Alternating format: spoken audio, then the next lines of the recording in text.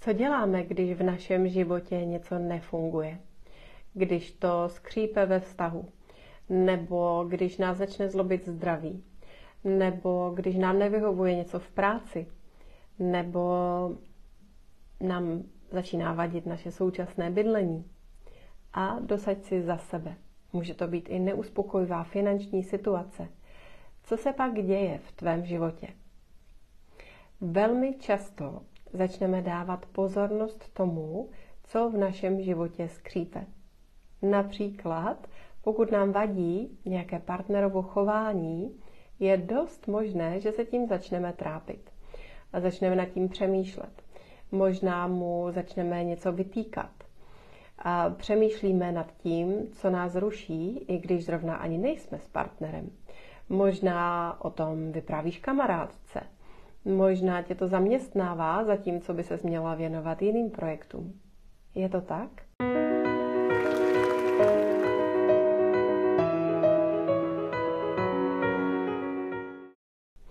A nebo neuspokojivá finanční situace. Nebo nějaká náročná pracovní situace. Zkrátka, když v našem životě něco nefunguje, velmi často tomu začneme dávat pozornost bohužel často takovou pozornost, která ten problém ještě prohlubuje. Když například začneme partnerovi vytýkat, co nám vadí, je dost možné, že se z toho stane velký rozlezlý problém. Možná se to stane i předmět mnoha dalších hádek. Já ti teď poradím jinou strategii. Nechci určitě říct, že bychom potíže, problémy a neuspokojivé situace měli zametat pod koberec a nevšímat si jich. Ale za mě je důležité věnovat minimální, nezbytnou pozornost tomu, co potřebujeme k vyřešení daného problému.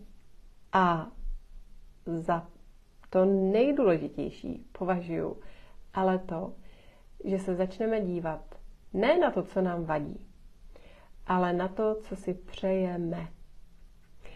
Například, co chceme zažívat ve vztahu, nebo co chceme zažívat v práci, co chceme zažívat ve vztahu s pracovními kolegy a kolegyněmi, jaké chceme mít pracovní prostředí nebo další okolnosti naší práce.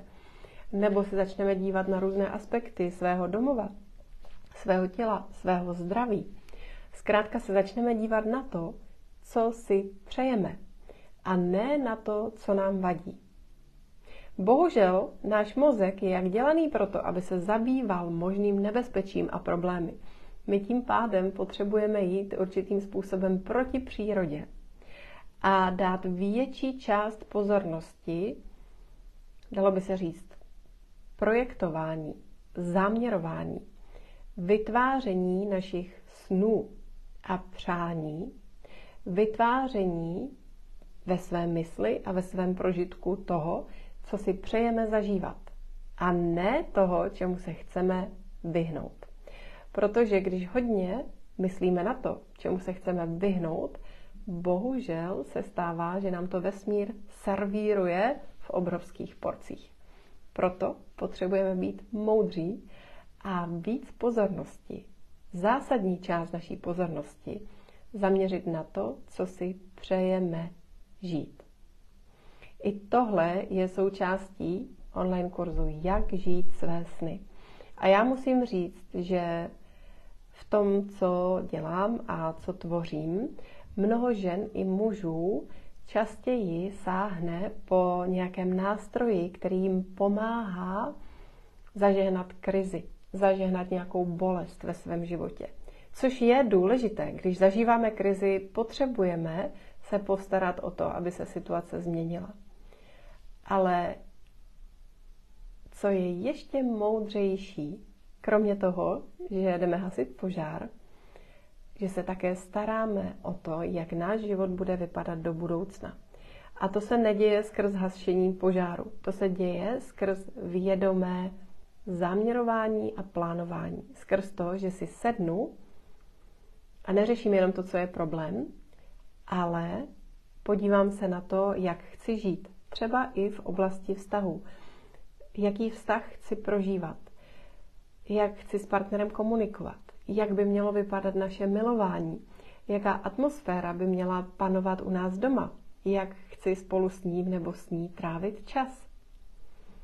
Tomu potřebujeme dát zásadní množství nebo zásadní objem naší pozornosti.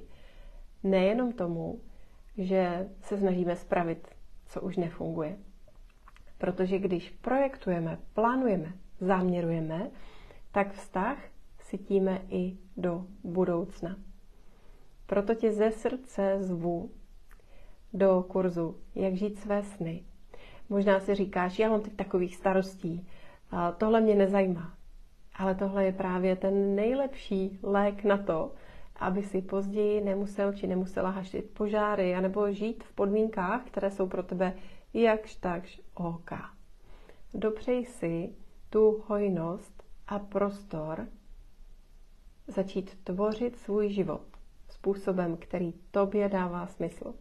Začít se v něm radovat nad rámec toho, na co jsi zvyklý nebo zvyklá. Pojď se podívat na to, co tobě skutečně v životě dává smysl a jak pro tebe vypadá ten nej, nej, nej vztah, domov, práce, životní styl a další a další aspekty tvého života. Zanedlouho začíná nový rok a je to čínský nový rok dřevěného draka. U této příležitosti budu kurzem Jak žít své sny také provázet, odpovídat účastníkům a účastnicím na jejich otázky.